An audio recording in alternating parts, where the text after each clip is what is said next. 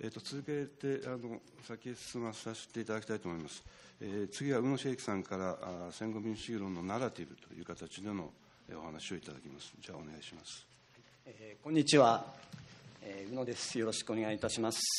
えー、本当にまあ日本の戦後的なものが問われている今日この頃、えー、この場で戦後民主主義論についてお話しさせていただけるのは大変嬉しく思います。えー、私も、うん、なんかいても立ってもいられず、ここ数日、毎晩のように、えー、国会の前をふらふらしておりますが、えー、今日は、えーまあ、戦後民主主義理論のナラティブ、まあ、こういうタイトルで、まあ、お話ししようと思っております。タイトルを決めたときには、あまり深く考えてなくて、こういうタイトルをつけてしまったんですが、後で考えたのは、あの東洋思想研究者として著名な井筒俊彦さんです。井筒さんはコーランというものを読み解くにあたって3つのレベルを区分しなきゃいけないと言います。どういう区分かっていうとリアリスティックイマジナルナラティブ。コーランを読むにあたってはこの3つのレベルがあるというんです。リアリスティックっていうのは事実や事件を叙述するレベルです。イマジナルこれは対しまして現実離れした想像力のレベルであるとすればナラティブ。はその中間にあって実際に起きたことを物語として展開する表現のレベルを指すといいます。思い起こされるのはかつて丸山正雄が大日本帝国の実在よりは戦後民主主義の虚妄にかけるという言葉です。私は戦後民主主義というものをリアリスティックに語る。これも大切なことだとは思うんですけれどもそれよりはむしろ一つのナラティブとして考えてみたいと思います。つまり戦後民主主義とは何であるのかあったのかその具体的な内容や実態を考えることこれはもちろん重要ではありますが同じぐらい重要なのはそれがどのように語られてきたのか。このことに焦点を置いて考えてみたいと思うのです。言い換えれば戦後民主主義という物語これを再検討することが私の報告の主題となります。今日いらっしゃいませんが、明日いらっしゃいます小熊英二さんは、戦後民主主義という、まあ、言葉の使い方、用語法の最初の例を1958年に見出しています。つまり戦後直後から戦後民主主義という言い方をされていたんではなくて、1958年、初めての例が見られるといいます。小熊さんに言わせれば、まあ、現在、あまりにも安易にこう戦後民主主義というふうにまあ口にされるんですが、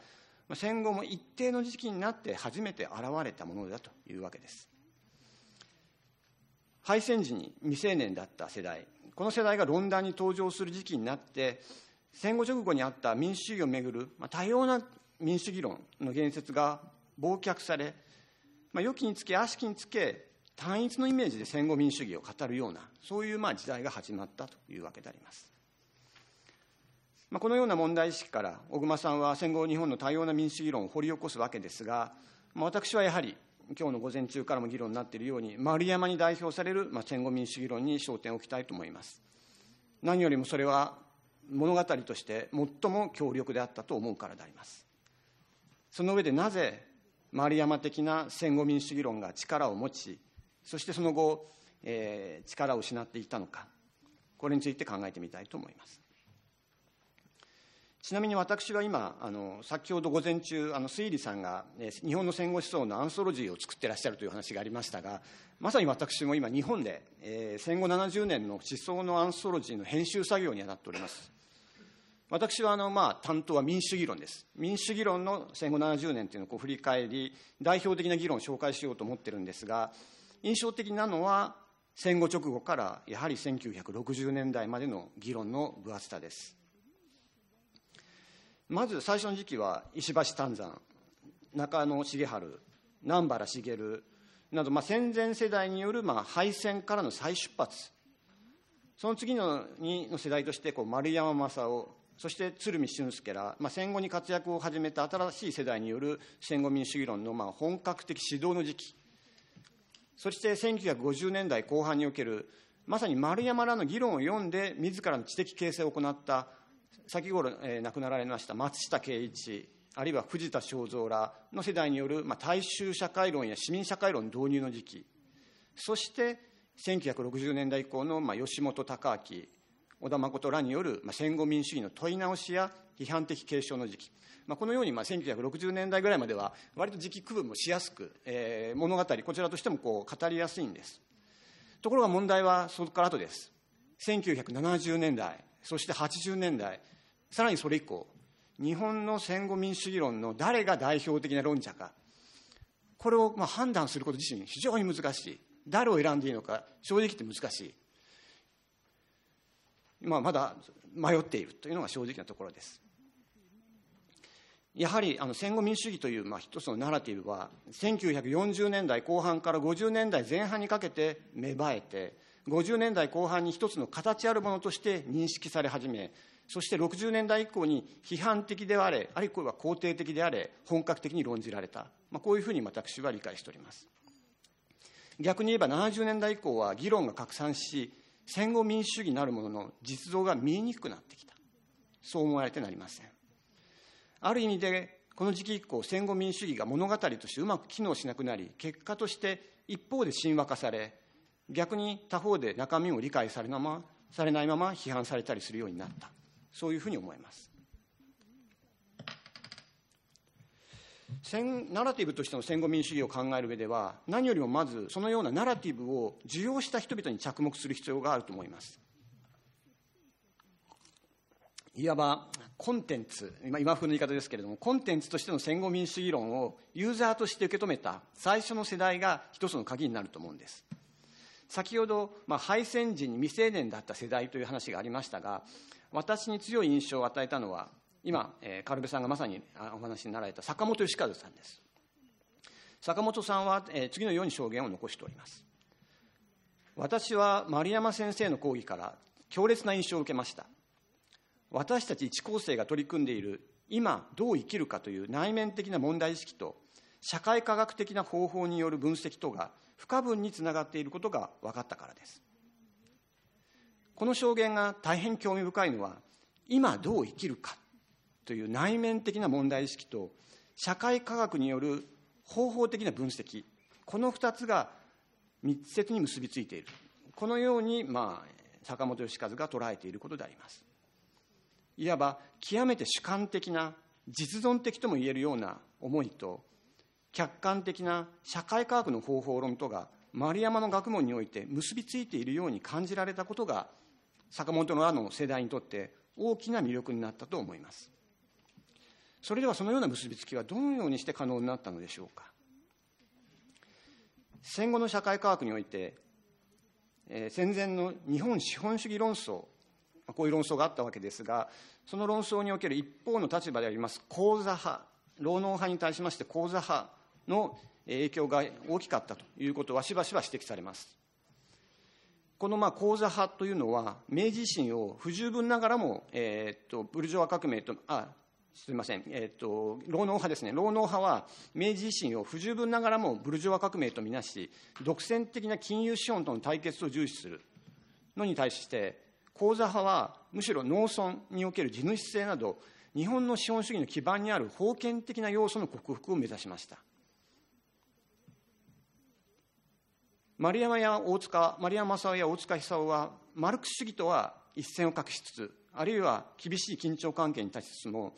日本社会に残る全近代的側面封建的な側面これを克服しようとそれを目指す点において講座派の問題意識と通じるものがあったわけであります。すでに触れた坂本義和もまた自らの精神に残る軍国主義を丸山ならによって明確に分析されたことによって衝撃を覚えたといいます。ある意味で敗戦を機に自らの精神を支配した古い古臭い要素。これを克服し新たな民主的社会の主体として再出発する。こういうナラティブ。これが構図派的な枠組みと非常に適合的だったと思いますがこのようなナラティブ。それこそがある世代にとって解放感。をもたらすものであったと思うわけであります。戦前の日本の知識階層にとって植民地支配と農村の小作葬儀この両者はいわば両親に突き刺さる棘のような存在でした。その意味で言えば植民地と小作地を失うことで戦後日本の中流階級はある種の良心の安らぎを得たことになります。本当の意味で安らぎを得てよかったのかどうかはもちろん問題なんでありますが敗戦によるまあ旧体制の崩壊を青空戦後の青空っていうふうに例える人は非常に多くいます。まさに戦後民主主義とは重くのしかかっていた軍国主義の闇が消えて青空の下で青春のナラティブとして機能したんではないでしょうか。南原ら戦前世代ではなく丸山らこそが戦後民主主義の象徴になった。そのことはある意味では自然であったと言えるでしょう。政治学者の田口福次は60年代半ばまでを戦後政治学の英雄時代とも呼んでいます。もちろんこのような戦後民主主義のナラティブがそれほど無垢なものナイーブなものではなかったということについては現在では多くの指摘があります。例えばこの戦後民主主義論の中には実はナショナリズムの側面があるのではないか。あるいはポストコロニアルな批判が弱いんではないか。さらにはまあそこで封建的とされた旧中間層に対する差別的な眼差しがあったのではないか。議論は多様にわたります。しかしながら私がここで注目したいのはむしろ同時代的な批判の方です。戦後民主主義のナラティブが次第に開放的なものとしては感じられなくなっていった。このような動きがこのようなアンソロジーを作るプロセスでだんだん見えてきます。第一の事例。これは鶴見俊介であります。先ほど私は丸山と鶴見を戦後に活躍した活躍を始めた世代ということで一括りにしましたが2人は8歳ほど年齢が離れています。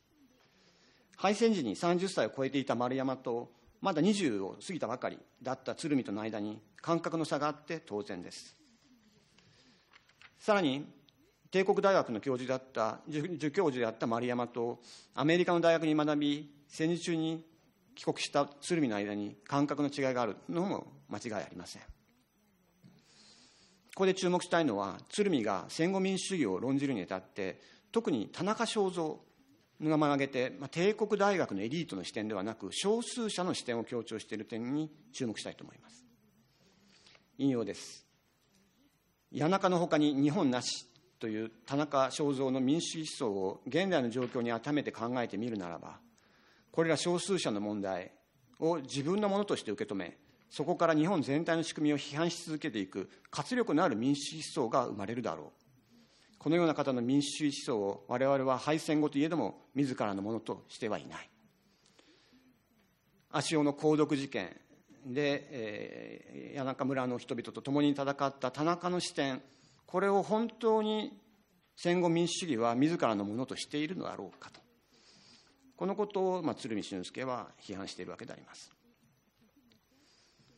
鶴見は思想論じるにあたって欧米思想の輸入品ではない思想暮らしに根ざす思想こういったものを重視しました。彼は知的大衆という言葉も言ったわけですがその中核となるものとして戦争体験中国への罪悪感と親近感原爆への嫌悪これらを指摘しています。このような少数者の視点これは言うのは簡単ですけれども非常に難しい問題でありその後の戦後民主主義にとって一つのつまずきの石になったように思われてなりません。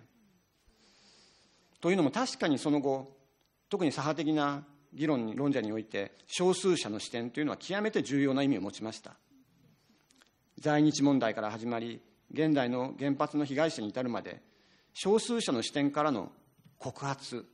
これこそが日本社会に対する批判的役割として非常に大きな役割を果たしたことこれは間違いありません。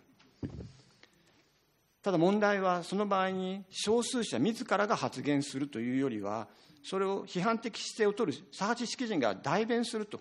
いうことに対してしばしば反発が起きたこと。あるいは少数者がむしろ特権的立場に立ち多数者の方が不利な立場に置かれているのではないかと。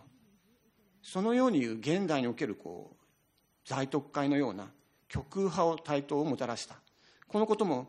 この少数者という問題を取り組む上での非常に難しい問題です。